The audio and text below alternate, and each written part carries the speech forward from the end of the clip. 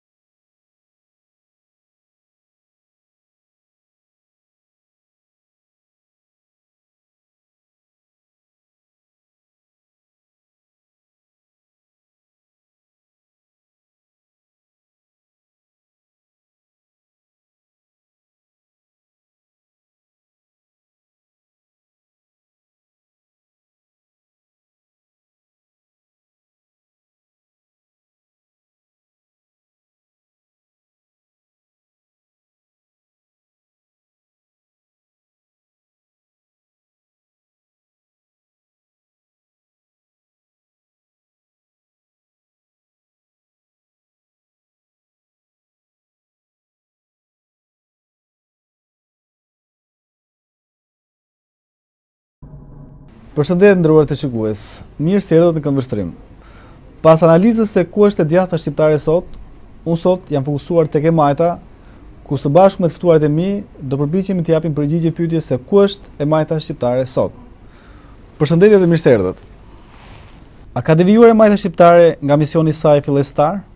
Nuk mund të themi se ka një mision të përcaktuar fillestar. Në fillim, siç e shtrova më parë, duhej bërë reformimi i së majtës dhe mendoj se partia socialiste si përfaqësuesja kryesore e së majtës, por dhe aleatët e saj, arritën me shumë sukses që sidomos në periudhën qeverisëse tetëvjeçare, 97-2005, të arrinin ta nxirrnin vendin dhe institucionet nga gremina, ku ishte katandisur, në një normalitet institucional, shoqëror dhe ekonomik. Dhe mund të them që nëse sot në fund të fundit ka një lloj stabiliteti, pavarësisht përpjekjeve të jashtëzakonshme dhe shumë dhelparake të së djathës dhe të partisë demokratike për të kapur dhe kontrolluar pushtetet e pavarura, Ruhet një lloj stabiliteti pikërisht falë atyre garancive që u krijuan në 8 vjet qeverisje të Partisë Socialiste. Këtu dua të bëj një dallim lidhur me vendimin e pjesës kryesore të së majtës në 21 prill 2008, kur bashkëvotoi me Partinë Demokratike kushtetutën e vendit drejt një sistemi të një republike kryeministrore dhe më pas edhe vetë kodin elektoral, i cili ishte një kod antipluralist dhe antidemokratik, sepse në fund të fundit është një garanton një lloj sistemi zgjedhor i cili nuk i jep qytetarit mundësinë që të përfaqësohet drejtpërdrejt me atë që zgjedh në në parlament dhe i ka hequr mundësinë e kontrollit qytetarit pra zgjedhësit votuesit Në procesin politik, siç është përzgjedhja e kandidaturave dhe pastaj vetë votimi i drejtpërdrejtë i kandidatit për deputet. Sa të majta janë politikat që ndjek e majta shqiptare sot? Do të thosha pangurim po, për shkak se e tillë ka qenë dinamika e ngjarjeve që kanë kanë rrokur jo vetëm këtë pjesë ku jetojmë ne, por gjithë gjithë rajonin dhe gjithë do të thosha pse jo dhe planetin. Të mos harrojmë që kaluam nga një botë bipolare, ku dy blloqe të mëdha komuniste dhe bota perëndimore me në kryesht të Bashkuar të Amerikës dhe Evropën Perëndimore, triumfuan dhe e fituan luftën të ashtuquajtur luftë të ftohtë, e cila u shoqërua me shembjen e sistemit komunist dhe pa diskutim që e thashë dhe në Evropën Perëndimore përpara të majtës kanë dalë të tjera sfida.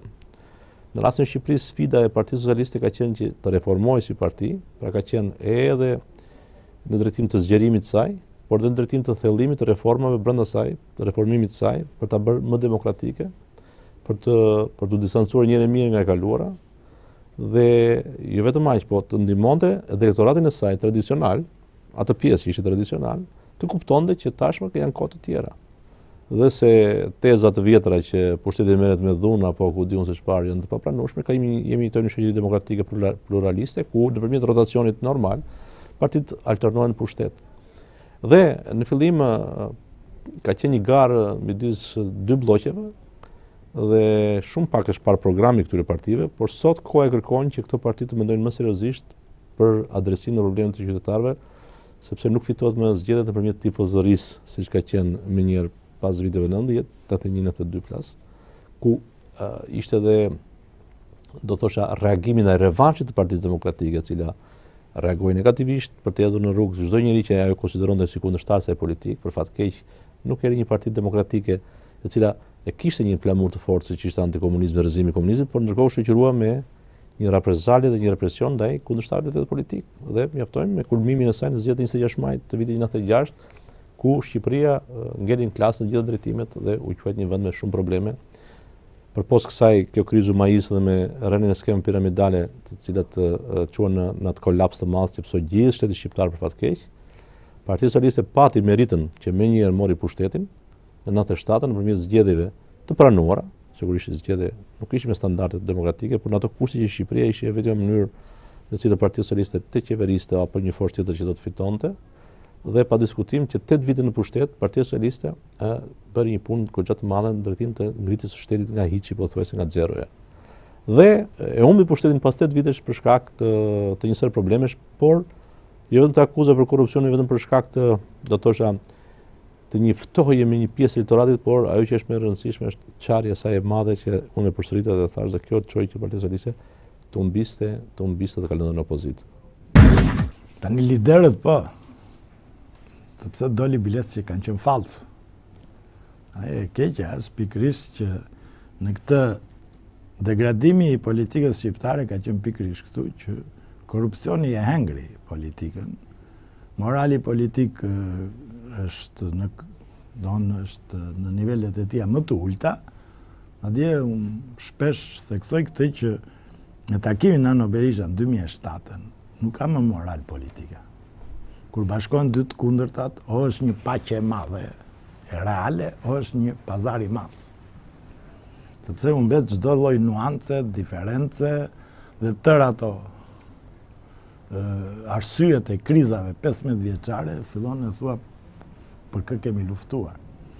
Se për shembull në qoftë se i kthehemi vetëm 97-ës, ku Berisha ka qejf ta quajë revolucion komunist, apo rebelim, atëherë i bie që janë rebelu komunistët që të vinë Nanon në pushtet, dhe Sala u përpoq të mbronte shtetin me gjithë mjetet për mos të ardhur Nanua. Kur Nanua me Berishën një ditë gdhihen miq. Dhe atëherë mjafton mos të ishin armiq dhe s'ndodhte as 96 as 97. Atëherë pyetja bëhet se si këta bëhen bashkë kur s'duhet dhe s'bëhen bashkë kur duhet. Dhe kur themi bashkë që të pranojë njëri-tjetrin. si konkurrent. Kur kanë ardhë në të njëjtën tavolinë, sepse demokracinë e kanë nisur te Zëri i Popullit të dy së bashku në një tavolinë të rrumbullakët, drejtuar nga Hamdi Jupe. Pra do thotë që u kanë dhënë një detyrë. Ka dhe ca që thonë, kanë ngatërru zarfet, që ndoshta do të ishin dhënë të kundërt, për po me nderë, do njëlloj do kish vajtur. dhe e majta në këtë aspekt, politika një, degradoi, sepse nuk ka moral. Fund të fundit thamë që demokracia mbështetet mbi vot. Atëherë duhet të jenë zgjedhje të lira e të ndershme. Këto i ka shkatërru Sali Berisha. E dyta, duhet respektuar vota. Dhe respektimi i parë është për alternativën për cilën e kërkon. Kjo degradoi me lëvizjen e Xhuvelit, me lëvizjen e Metës, madje tashmë është bërë në modë. Pra deputet zgjidhet majtas, kalon djathtas, zgjidhet djathtas, kalon majtas, dhe humbet kuptimi i zgjedhjes.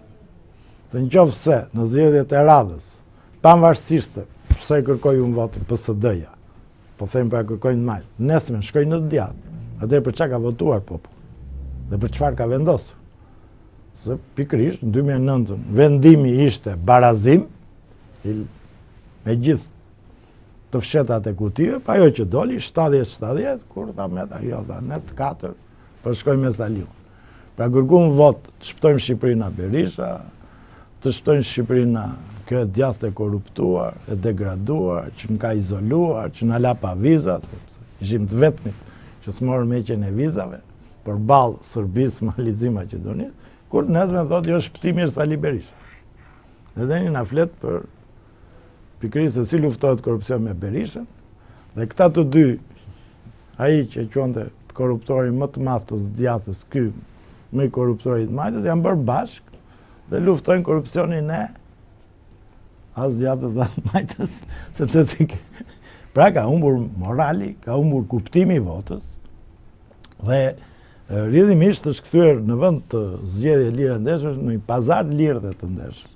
ose të pandershëm.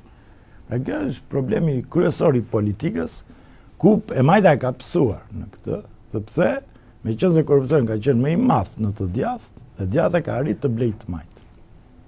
Tentoi dhe Nano të blinte njerëz te e djathta, arriti të blinte me pula, me kështu ndonjë votë, por nuk mori pushtet në mënyrë të pamerituar.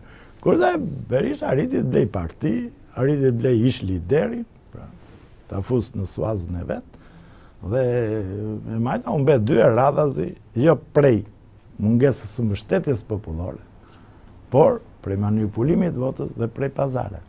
Pra në këtë aspekt, në leadership e majta është tradhtuar, madje këto elemente janë ende prezent, sepse ende kemi zëra në një kohë kur e majta duhet të mbrojë jo veten, sepse në fund qoftë si e majtë, qoftë si opozitë, ti duhet mbrosh drejtat e qytetarëve. Dhe pushteti është gjithmonë shah. Dhe demokracia këtë ka shpik. Nuk është se në demokraci tani nuk ka më Envera apo s'ka, nuk është punë emra. Pushtetet edhe në demokraci kanë prirjen të abuzojnë, nuk mund t'i shpëtojnë 100% abuzimit, po filloi i pari, vjen i dyti, se pastaj do duash t'i mbulosh. Por ajo që e mban pushtetin të pastër, relativisht, është rotacioni. Fakti që do ballafaqohesh nesër me votën, fakti që po t'i humbje zgjedhjet, pastaj ballafaqohesh dhe me drejtësinë, pra në qoftë se sot arrin të mbyllësh dosjen Durrës Kukës, nesër s'e mbyll dot, qoftë se arrin të mbyllësh Gërdecin, nesër s'e mbyll dot, atëherë kjo i bën pushtetarët që minimumi kur gabojnë një herë ta ndreqin. qoftë për mbrojt veten, qoftë për mbrojt partinë, qoftë për mos dënuar në votë. Dhe po u prish, pikërisht, ky rotacion, po u prish vota, atëherë, abuzimi, është masiv. Pra, në këtë aspekt, opozita nuk mund të quhet tolerante, as konstruktive, kur ul kurrizin. Çfarë u vërejt në partinë socialiste, që ndonëse jemi para një manipulimi zgjedhor, ndonëse ti tolerove në maksimum për zgjedhjet e 2009-ës, kërkove vetëm një kontroll rinumërimin, të vënë në ligj, nuk të jepet. Kur rinumërimi është gjëja më e zakonshme që ndodh në jetën e njeriut. Sa herë paguan te kamarieri, apo te shitësi, apo kudo, në çdo marrëdhënie dyshe, apo dhe burri me gruan, kur i thotë shiko mos të dhashë më shumë, numëroji dhe një herë. Dhe që të mbyllet çdo gjë pastaj me mirëkuptim. Kurse vetëm ai duhet t'i thotë jo, thotë. Tani s'ka më kaq të shkau dora, i mora, të shpëtoj. Dhe pas kësaj, unë nuk e kuptoj pse shumë që brenda PS-së, apo në të majtë, dalin jo po të luftojmë në kuvend, kur s'ka kuvend. Të luftojmë në kuvend kur s'të japin drejtë fjale. Shkon në një kuvend kur denigrohet deputeti çdo seancë e rëndësishme, kthehet, deputeti flet, Saliu sulmon me libër shpie, ai flet shumë për buxhetin, dhe s'i pëlqen buxheti, ky pse s'i pëlqen buxheti, thotë, i biri i kujt je ti, ça ka bërë babai yt, ku është gruja, ku është, ku është kuvend. Pa harruar komentet pastaj që shton ajo zonja e çeliktë, dhe hiqet vota e fshehtë, kuvend që hiqet vota e fshehtë, si do mbrosh votën e fshehtë të popullit, kur ti s'e mbron votën e fshehtë tënden. Dhe kjo është për gjukatën kushtetuese, për gjukatën e lartë për institucion. Heqja e votës së fshehtë në kuvend, është e barazvlefshme me manipulimin e votës. Dy herë votohet në Shqipëri dhe në çdo demokraci, një është vota popullore që përcakton qeverisjen, që në fund dhe po doli një gabim, kur ndahet, nuk është ndonjë gjëmë e madhe, sepse qeveria normalisht nën kontrollin e opinionit publik, dhe po gaboi, bie. E dyta pastaj, këta përfaqësues të popullit, mblidhen në kuvend. Këta ngrenë shtetin, institucionet, pra gjykatat, këta janë më të rëndësishme, se këta s'mund t'i lëvizësh sa herë do qejfi. Se s'mund garantosh pavarësinë e tyre, po u cënu vota e fshehtë. Kur cënohet vota e fshehtë dhe në kuvend, ka mbaru dhe shteti. Aty mbaron rotacioni, këtu mbaron shteti. Kështu që në këtë situatë absolutisht nuk mund të mirëkuptohet një opozitë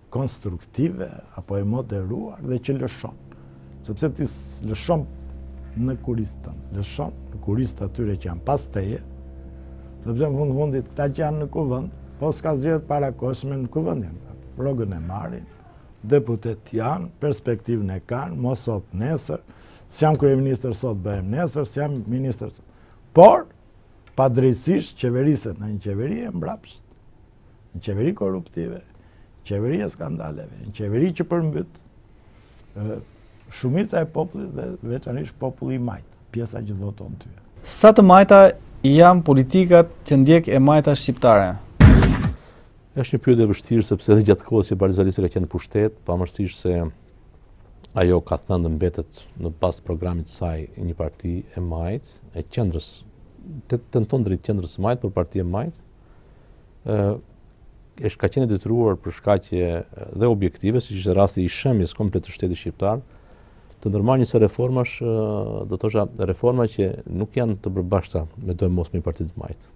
Pra nuk e kemi pasur luksin që të ishim në një, një situatë normale ku ne të tentonim reforma tipike të majta që kanë të bëjnë me me adresimin e problemeve që do të thotë që me më shumë drejtësi sociale, me një ndihmë më të qenësishme të shtresave në nevojë, për të luftuar kundër marginalizimit apo kalimit në periferi të një pjesë të shoqërisë shqiptare. Por gjithsesi brenda këtyre mundësive është përpjekur të kapë dhe probleme sociale tipike të së majtës. Nuk kanë qenë gjithë reforma të majta, kanë qenë reforma ndonjëherë dhe të djathta, nuk kanë qenë të lloj terapie shokut, por kanë qenë shumë pranë kësaj kësaj teorie sepse kanë qenë reforma të vështira, Shqipëria ka qenë e detyruar për një kohë të gjatë të qeverisë bashkë me Fondin Monetar dhe Bankën Botërore në drejtim të krijimit të një stabiliteti makroekonomik të domosdoshëm që ekonomia shqiptare të paktën të kishte kuadrin dhe shinat ku ajo të ecte. Dhe sot Shqipëria ka arritur nga një vend që kishte një, do të thosha, një buxhet prej 1. do të thosha 5 miliard dollarësh, sot ka një buxhet shumë më të madh, tre katër herë më të madh për shkak të rritjeve progresive ekonomike. Gjë që është ngandalësuar kjo kjo, kjo rritje ekonomike për shkak të krizës që ka kapur gjithë gjithë ë do të thosha Europën dhe botën. Pra, Partia Socialiste edhe pse ka qenë 8 vjet në pushtet, nuk mund të them që ka ka zbatuar një program të majtë, por ka qenë program do të thosha i alternuar dhe me reforma që janë tipike për qeveritë e djathta, por ka qenë të detyruar për shkak të situatës ekonomike. Tani unë këtë e preka pak Sepse sa të majta janë politikat, si e një qeverisje do, në sa janë në mbrojtje pikërisht të atyre shtresave që quhen më pranë të majtës. Dhe në kështu në termat klasike, dallimet janë në politikat e taksave. Për shembull taksa e sheshtë është e vetmja në formë, masë e djathtë e qeverisë Berisha. Por e aplikoi keq, sigurisht, sepse ai gjoja vendosi taksën e sheshtë dhe e uli, pastaj futi TVSH-të. Dhe e futi për biznesin e vogël, të cilin e bëri të madh, dhe në fakt dyfishoi taksa. Ndonëse për të voglin ishte vendosur me kod të bëhej 10%, në 2010, tani atyre u ka vajtur 30%, se futet TVSH-ja. Por, Dhe këtu duket nuanca e tyre e djathtë, sepse me ardhjen e PD-së, më shumë taksa merren nga të ardhurat personale, pra nga mësuesët, nga mjekët, nga të punësuarit, nga nëpunësit, se sa nga biznesi. Dhe çka do të thotë që barrën ti ia heq bizneseve, po ia kalon në raport pjesës më vulnerabël të shoqërisë. Pra ata që jetojnë vetëm me rogë shteti. Kështu që kjo është e vetmja masë, por dhe kjo e deformuar e tyre. Dhe në përgjithësi e majtë djathtë dallojnë pikërisht në politikat e taksave. Dhe pastaj sigurisht edhe qëndrimet që mbajnë pastaj ndaj çdo shtrese, të papunëve, të ndihmës sociale, të mësuesve, të mjekëve.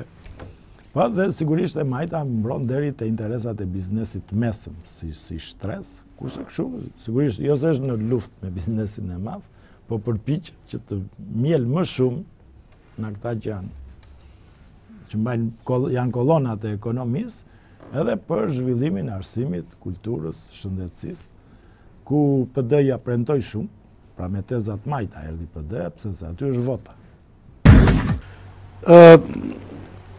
Nuk është se ka një lloj vije demarkacioni, pra, që ndan të majtën dhe të djathtën, po sigurisht që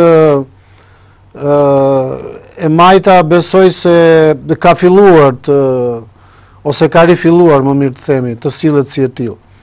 Për shembull është një moment ekonomik, financiar, apo dhe social, siç është taksa e sheshtë, e cila është imponuar me shumicë votash nga Partia Demokratike. Është një taksë e cila, duke qenë e rrafshët, është në kurriz të shtresave të ulta, ose të atyre që kanë të ardhura të vogla, apo të pakta, dhe favorizon ata që kanë të ardhura të mëdha, të larta. Ndryshe është politika e së majtës, dhe ndryshe ka qenë, kur ajo ishte në pushtet në 8 vjet, pra duke vendosur një taksë të diferencuar, e cila i jep një ngarkesë më të madhe atyre që kanë edhe të ardhura më të mëdha, pra biznesit të madh krahasuar me biznesin e vogël. Dhe këto janë praktika që ndiqen edhe nga mm, forca politike që janë të majta në Evropë, por bile dhe mund të themi dhe në Amerikë. Kuptohet që partia demokrate në, në Amerikë është më e majtë krahasuar me republikanët dhe duket qartazi që politikat e Obamës, të paktën deri në kohën që kishte dhe shumicën në kongres, ishin shumë më të majta, pra dhe favorizonin politika të cilat i sillnin mundësi, sidomos biznesit të vogël dhe të mesëm që të rigjallërojë edhe në dimensionin e krizës globale që kapi edhe vetë Shtetet e Bashkuara të Amerikës. Sipas jush, a ekziston në të majtën shqiptare demokrasia e brendshme? Them pa tjetër që nuk krahasohet me PD-në. Nuk krahasohet.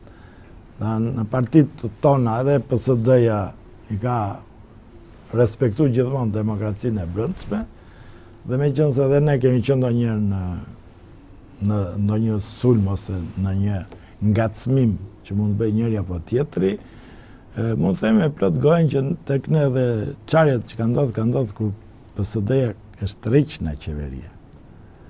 Çka do thotë që me partinë apo me shumicën kanë qëndruar ata që kanë pranuar një sakrificë për hir të një ideali, të një qëndrimi për program.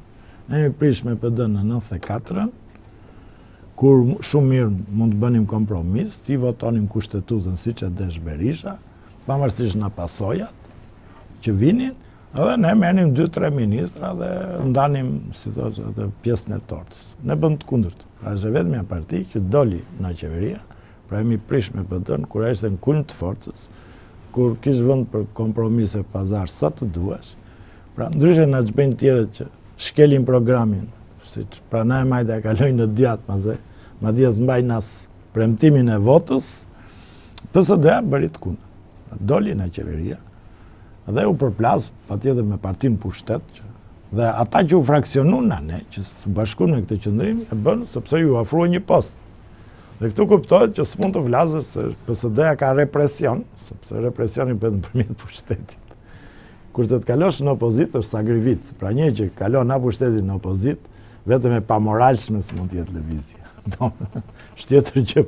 Por, e njëjta gjë ka ndodhë në 2002-shin, kur kemi pas probleme me partinë socialiste, dhe kur pastaj tentuan prap çarjen e PSD-së, fraksionimin e PSD-së, dhe kemi dalë prap nga qeveria. Kemi pas gjithë ofertat e nevojshme, madje edhe kur bëmë një paqe të përkohshme në 2003, nuk s'kam hyrë në qeveri, pikërisht për hir të këtij morali. Dhe pra PSD-ja i ka qëndruar në tërësi programit të vet, parimeve të veta, dhe siç thashë, pra demokracia ka funksionuar. Ndërsa dhe në partinë socialiste, përveç ndonjë momenti, se për shembull ka dhe momente, sepse aty në fund të fundit përplasja ka qënë kryesisht Nano-Meta që u përvijua pas kongresit të 99. Por po të mbani mend, Pra Nanoja bëri atë që Saliu s'e bën kurrë, pra pranoi rikonkurrimin në kushtet e kryetarit. Pra dha dorëheqjen si kryeministër, pastaj e dha dhe si kryetar partie dhe rikandidoi.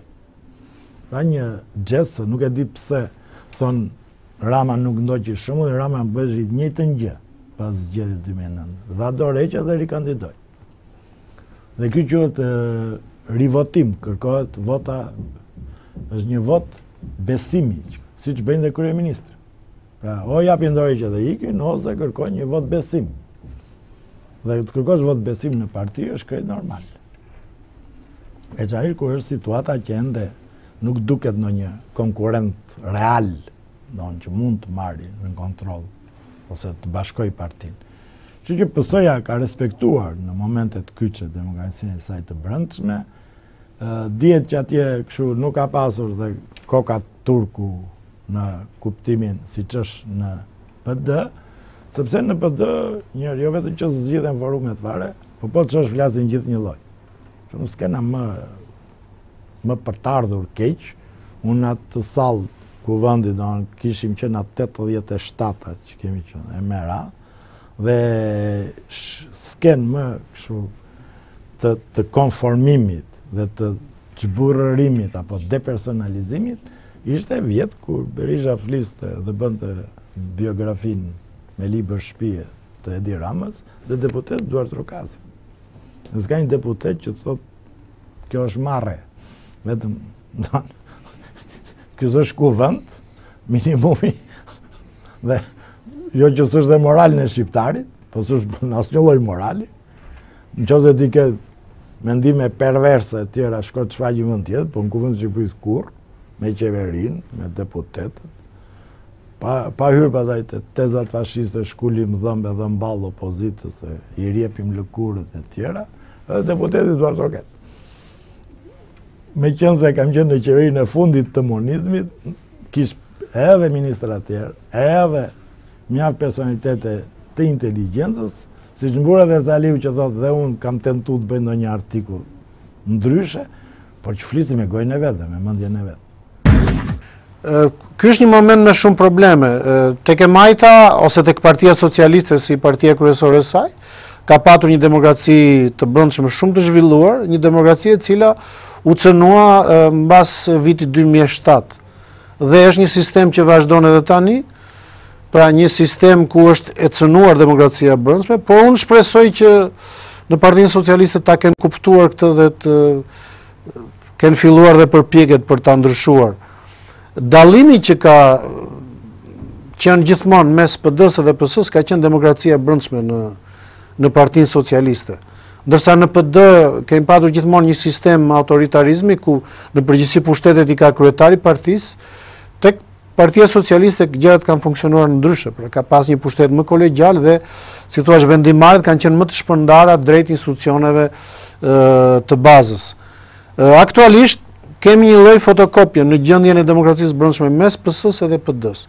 Dhe unë uroj që të këtu të ketë ndryshime sepse kjo është dhe nga një, një nga rrugët e ndryshimit mes të majtës dhe të djathtës. Pra, ne na duhet një e majtë e cila është më e hapur, ka demokraci të brendshme më të zhvilluar dhe garanton më tepër liri për të gjithë militantët politikë, por edhe për të gjithë ata që ndofta dhe në mënyrë të organizuar kanë një alternativë më ndryshe sesa një lloj lidershipi i cili gjithmonë është i përkohshëm.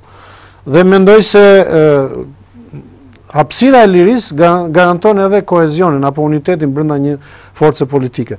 Në momentin që ka autoritarizëm, sigurisht që do ketë gjithmonë zhvillime të cilat do çojnë në, në ndarjen dhe në përçarjen e, e së majtës dhe kjo ka ndodhur në vitet e fundit, ka ndodhur edhe kur në 2003-shin Partia Socialiste nuk arriti të bënte një votim gjithëpërfshirës në Kongresin e Dhjetorit dhe u bënë disa përjashtime, të cilat pastaj çuan, natyrisht jo vetëm për shkak të kësaj, në krijimin e LSI-së, Por kjo ndodhi edhe në më vonë, kur pati një lloj politike përjashtimi ndaj shumë figurave socialiste me kontribute në në parti, siç ishte edhe vetë, po them, ish-kryetari Fatos Nano, i cili, për mendimin tim, pësoi një lloj ndëshkimi nga ajo lloj politike e lidershipit. Pavarësisht se ai më vonë pastaj ka bërë gabimet e veta, duke bërë një lloj sjellje komprometuese dhe që në një farë mënyre ka justifikuar në thonjza atë që ka ndodhur ndaj tij më parë. Ë mendoj që kjo është një situatë që duhet korrigjuar, por që kërkon sigurisht reagim dhe reflektim të dyanshëm. Shiko, në një vend si Shqipëria, ku ne nuk po realizojmë dot një herë zgjedhje të lira dhe të ndershme, ku administrata publike ndërron sa herë ndërron ngjyra e pushtetit, ku raporti midis premtimeve dhe realizimeve, ai gapi, ajo diferenca, nuk vjen duke u ngushtuar, po vjen duke u thelluar që tregon që ka shumë demagogji dhe retorikë boshe, nuk mund të themi që Partia Socialiste ka devijuar apo jo nga misioni i saj. Sigurisht që demokracia e saj e brendshme ka ardhur duke u përmirësuar, të paktën deri në vitin 2005 Partia Socialiste ose deri në 2003 të themi më mirë para se të largohej Lëvizja Socialiste për Integrim, Partia Socialiste ka pasur një demokraci shumë më të madhe që ndonjëherë do të thosha me të cilën është abuzuar nga një pjesë e socialistëve, Por ka pas një debat, ka pas, ka pas një zë ndryshe të fort, dhe me kalimin e kohës, sidomos pas ikjes ose krijimit të Lëvizjes Socialiste për Integrim, në Partinë Socialiste ka triumfuar teza apo zërat sipas të cilve ka ardhë koha të bëjmë të vendosim pak rregull. Aq më tepër që kemi kaluar në opozitë dhe është gjykuar që me krijimin e kushteve dhe me ardhjen e lidershipit të ri, Janë plotësisht momentet që Partia Socialiste të ndërmarrë disa veprime ku të vendosë shumë qartë rregullat e lojës me qëllim që të mos ketë më rrjedhje të tjera. Por e kam të vështirë të them nëse kjo balancë ka kaluar në ekstremin tjetër apo ka qenë një masë e domosdoshme dhe sa ajo është realizuar. Fakti që më vonë kemi pasur përsëri një rrjedhje të dytë më të vogël se e para tregon që përsëri në Partinë Socialiste akoma do thosha nuk është gjetur ai ekuilibri i nevojshëm për të alternuar një ekip që të ngërthente përvojën, eksperiencën e më të vjetërve në politikë me vrullin, ambicien dhe do thosha atë energji që sjell që sjell brezi i ri ose politikanët më të rinj. Fakti që në 2009 ne përsëri nuk nuk fituam, sigurisht për, përpos problemeve të tjera që kanë të bëjnë me zgjedhjet, ka qenë që edhe programi i Partisë Socialiste dhe ekipi i krijuar prej saj është është ngjizur me shumë vonesë dhe nuk ka bindur me sa duket 100% elektoratin e saj që ta votonte më masivisht seç e votoi edhe pse ne mbetemi partia e parë në vend me 625000 vota. Të nderuar teleshikues, ky ishte Këndvështrim për sot. Së bashku me të ftuarit e mi, u përpoqëm të analizojmë se ku është e majta shqiptare sot. Bashkë mirupafshim në emisionet e tjera.